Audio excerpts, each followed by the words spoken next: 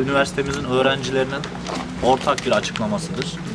Giresun'dan öğrenim için Çankırı'ya gelen ve burada Çankırı Karatekin Üniversitesi Fen Edebiyat Fakültesi Felsefe Bölümü 4. sınıfta okuyan arkadaşımız Sultan Ceylan, kalbindeki ritim bozukluğu rahatsızlığı nedeniyle birkaç gün önce rahatsızlanarak hayatını kaybetmiştir.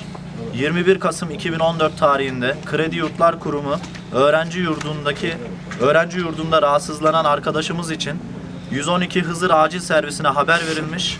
Hızır Acil Servisi yetkilileri saat 16.59'da Kredi Yurtlar Kurumu öğre- öğrenci yurdundan yapılan bayılma ihbarı üzerine Kırkevler Devlet Hastanesi'nden olay yerine hareket etmiş.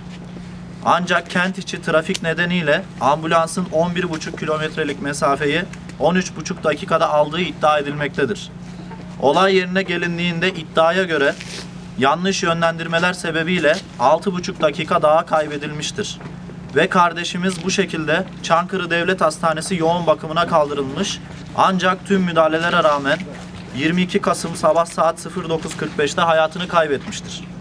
Herkesin bir öyküsü vardır aslında. Uzun ya da kısa, iyi ya da kötü, iz bırakan, anımsanan ya da silik ve anımsanmayan. Öyküler genellikle sahiplerince değil, başkaları tarafından yazılır. Ama Sultan öyküsünü kendi yazanlardandı. Çünkü o öyküsünü yazacak kadar kendini hayattan ne istediğini bilen, cesaretle olayların üzerine yürüyen, kararlı, kişiliği sağlam, dürüst, yürekli ve keyifli bir arkadaşımızdı. Ve kederli ailesine sabırlar diliyorum. Özcan bir soruşturma başlatmış bulunmaktadır.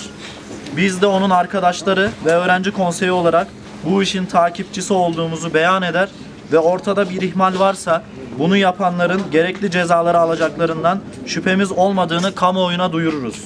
Biz Sultan'ın arkadaşları olarak içinde bulunduğumuz acıyı tarif etmekte zorlanıyoruz. Allah'tan Sultan kardeşimize rahmet ve değerli ailesine ve biz değerli öğrenci arkadaşlarıma sabır temenni ediyorum. Öğrenci Konseyi.